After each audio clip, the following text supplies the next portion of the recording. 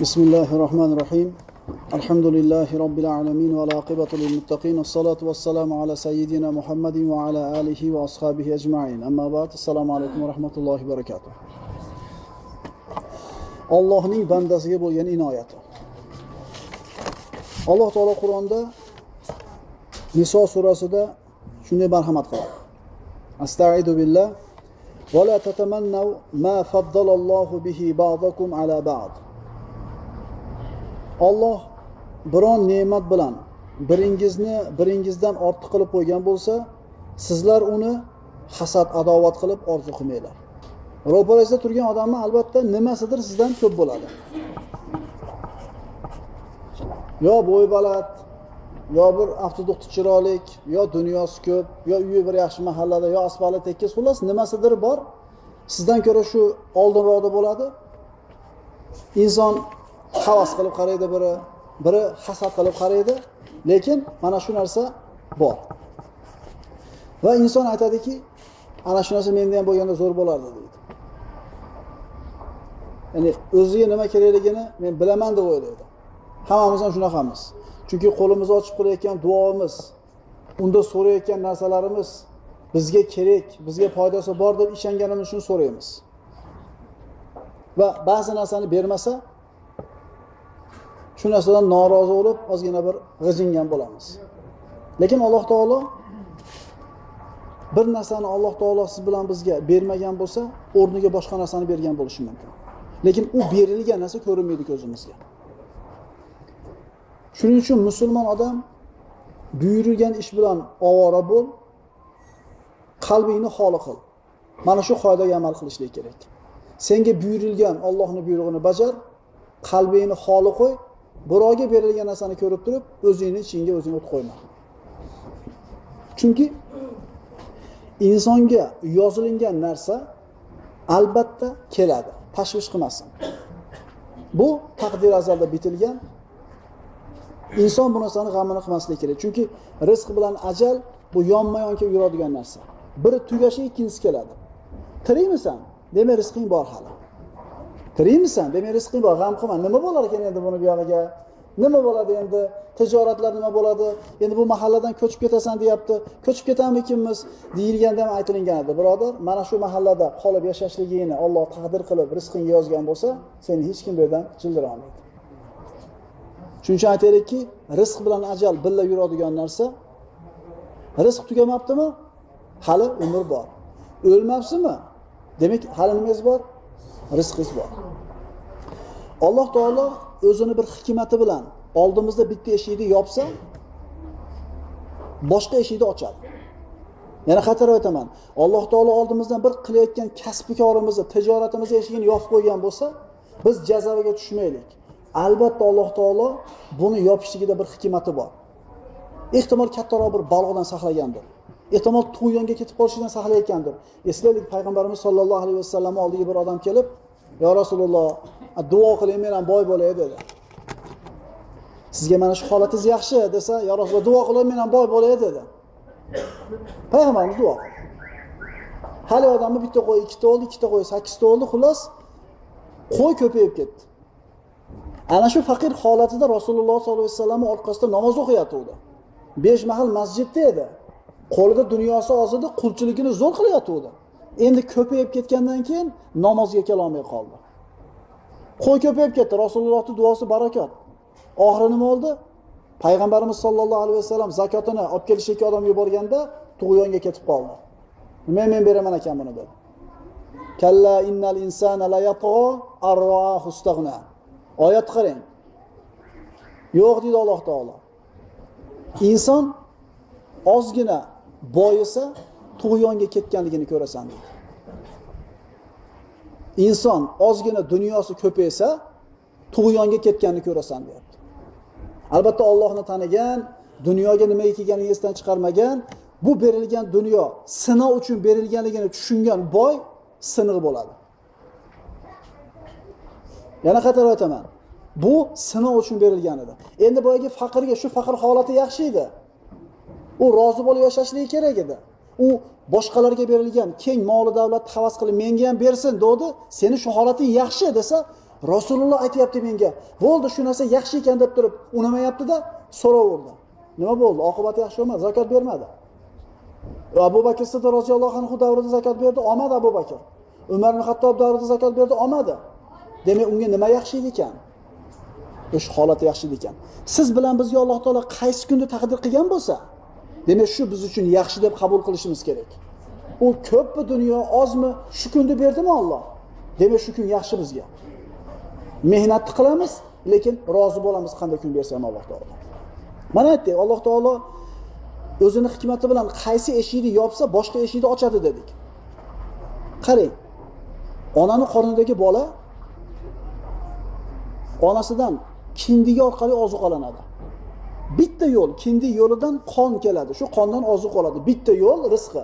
Bitta qon. Ho'p endi bunga aql berib turib faraz qilaylik. Chiqasanmi tashqariga desa aytadiki nimaga deydi?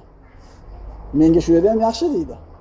Jonim tinch issiqqina yumshoqqina qonim to'yib turibdi. Agar aql bersak faraz qilsak chiqishni xohlamaydi. Endi undan so'ralmaydida. Xuddi siz bilan bizni boy kambag'al bo'lishimiz bizdan so'ralmagandek alloh taolo shart dunyoga chiqarib qo'yadi. Shart kindigini uzib qo'yishadi. Va deydi biz bitta kindikdan tirikchilik qilib turibmiz deydi. Ya'ni bitta shu do'kondan yo shu moshinadan tirikchilik bitta shundan tirikchilik qilib turuvdim shuni ham olib qo'yishdi deb shu yig'lab dod deydi.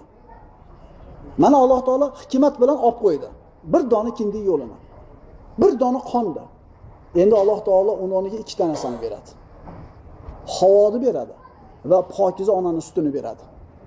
Aytingchi qondan ko'ra onani suti afzalroq emasmi? Lekin nima degdi uni qirqib qo'yganda dod degdimi olloh birni oldi nechini berdi ikkini berdi. Ho'p endi onasini sutini ichib keng dunyoni ko'rib nafasni olib mana hayot manaqa bo'lar ekan deb rozi bo'lib turuvdi ikki yildan keyin sutni ham qirqib qo'yishdi yana dod deydi. Shu bitta sutdan tirikchilik qilib turuvdim. Shuni ham bir mahrum qilishdi deydi. Aytmayaptiki o bitta qonni olib qo'yib turib undan yaxshiroq ikkita narsani berdi demaydi. Inson ko'rmaydida. Faqat o'zidan ketib qolgan narsani ko'radi yoki yo'q narsasini ko'radi. Bor turgan narsasi ko'p lekin uni ko'rmaydi. Nimani qirqidik? Olloh bitta qon bilan kindikni oldi o'rniga sut bilan havoni berdi. Ikki yil emgandan keyin alloh taolo bu taqdir ekan havlayni kamilang deb qo'ydi ikki yil emizinglar dedi ikki yildan keyin sutni ham olib qo'ydi yana ot deydi. Endi olib qo'yilgan ikkita narsani o'rniga alloh taolo nechta beradi? To'rtta beradi. Ikkita yeyiladigan ikkita ichiladigan narsa. Qarang tevaga qarab ketyapti. Bitta ikkita bo'ldi ikkita to'rtta bo'ldi. Yeyiladigan narsa meva chevalar. Hamda hayvonlarni go'shtlari ichiladigani suv va boshqa hayvonlarning sutlari. Nechta bo'ldi? O'shaning uchun bitta ish yopilib bir besh olti oy bekor qolgan bo'lsa siqilmay ekan alloh taolo bir hikmat bilan to'sib qo'ydi uni. Ehtimol o'sha mashinangizni yana tijorat davom etkazganda ehtimol bir balo musibat turuvdiki alloh taolo olib qo'ygandi ehtimol. Rozi bo'lishni o'rganaylik. Rozi bo'lishni o'rganaylik. Endi qarang. Inson mana shu hayotda oltmish yil yoki yetmish yil yashaydi. Bu to'rtta aytilingan lazzatga yana qo'shimcha lazzatlar bor. Ko'rish eshitish gapirish hiydash va boshqa ne'matlar. Aytadiki mana endi deydi rostmoni hayotga chiqdim deyapmiz hozir. Endi bu dunyodan chiqasanmi desa xuddi sutdan ajrashni xohlamagan kindik qonidan ajrashni xohlamagan boladek biz dunyodan chiqishni ham xohlamayapmiz. Yo'q mana shu yaxshi bizga. Yetadi mana shu. Inson oltmish yil yetmish yil yashaydi unga berilgan to'rtta ne'matni ham shart olib qo'yishadi. Ikkiga ko'paytiringlar. Nechta narsa beradi endi? Sakkizta nima bor? Jannatni sakkizta eshigini beradi. Agar mo'minmanda bo'lgan bo'lsa. Bir ikki bo'ldi ikki to'rt bo'ldi. To'rtda turibmiz hozir umid qilaylik alloh taolo sakkiz qilsin. Musulmon odamni dunyodan chiqishligi ham uni foydasi. Agar mo'min musulmon bo'lib yashagan bo'lsa. Chunki uni jannatni nechta? Sakkizta eshigi kutib turibdi. Demak alloh taolo bir bandasidan bu misol bu jiji bolani bitta misol qilib aytdik. Bir narsani alloh taolo olib qo'ygan bo'lsa bu hikmati bor. Rozi bo'lavering birodar. Undan tashqarichi qayerga borasiz rozi bo'lmay nima nima deydilar? Qayerga borasiz rozi bo'lsangiz foydangizga savobga yozildi norozi bo'lsangiz gunoh bo'lib yozildi lekin bu bo'ldi shu ish. Inna lillahi va inna ilayhi rojiun deydi. Musulmondan boshqa bir musibat kelsa, ko'ngliga yoqmaydigan ish bo'lsa, shu kalimani talqin qiladi. Bo'ldi, rozi. Savobga o'tdi. Yo'q bo'lsa, a nimaga? Qaysi qilgan gunohim uchun senga nima yozuvdim deydi mana oxirida. Inson rozi bo'lishni o'rgansin. Alloh taolo bergan kunga. Alloh taolo mo'min bandasiga vaqtinchalik past, haqir bo'lgan bu dunyoni ravo ko'rmaydi. Past, haqir, vaqtinchalik bo'lgan bu dunyoda ravo ko'rmaydi. Aksincha abadiy bo'lgan, aziz bo'lgan, ulug' bo'lgan ne'mat o'zini diydorini, jannatini ravo ko'radi. Shuning uchun aytdik oyatni boshida, ba'zilarni ba'zilardan afzal qilib qo'ygan bo'lsa bir narsalar bilan uni orzu havas qilib yubormanglar. Alloh taolaning bergan fazli kimga ko'p bergan bo'lsa ko'p so'raydi. Kambag'al odam faqat qiyomat kuni quvonadi. Yaxshi ham ozroq bo'lgani, mana yengilroq bo'ldi deydi. U davlat berilgan odamlarni yelkasida mas'uliyat bor. Uni zakoti bor, sadaqasi bor, halol yo'ldan topishi bor, halolga sarflashi bor. Ehtimol ko'tara olmaysizki, sizga bermadi bu narsani. Rozi bo'ling. Rozi bo'ling. Musulmon odam rozi bo'lishlik kerak. Endi bir banda o'ziga nima foyda-yu, nima ziyon, nima yaxshiyu nima yomon bilmaganligidan norozi bo'ladi. Robbisini qanaqa fazli marhamati uni ustida turganligini tushunmasdan johilligidan jazavaga tushadi. Alloh aytadi: "Qul bifazlillahi va birahmatihi fabizalika falyafrahu huwa khayrun mimma yajma'un." Mana nimaga qarab, nimani havas qilish kerak? Nimaga alam qilish kerak?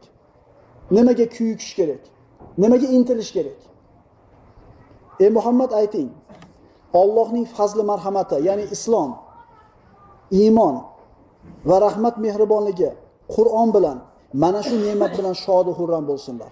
Iymon bilan, islom bilan, Qur'on bilan shu narsa bilan quvoninglar deyapti Alloh taolo. Bizda bormi shu narsalar? Shu yerda o'tirganda hammamizda bor.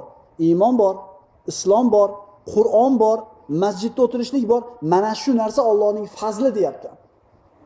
Alloh yaxshi ko'rgan bandasi mana shu narsa bilan aziz qiladi. Mana shu narsa bilan quvonib yashanglar deyapti. Bor ekanmi bizda quvonadigan narsa? Bor birodarlar. Faqat ko'rishni bilishligimiz kerak. Alloh aytadi: "Va la tatamannu ma faddalallohu bihi ba'dakum ala ba'd." Alloh biron ne'mat bilan biringizni biringizdan ortiq qilib qo'ygan bo'lsa, sizlar uni orzu qilmanglar.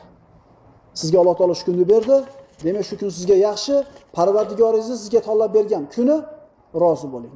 Assalomu alaykum va rahmatullohi va barakatuh.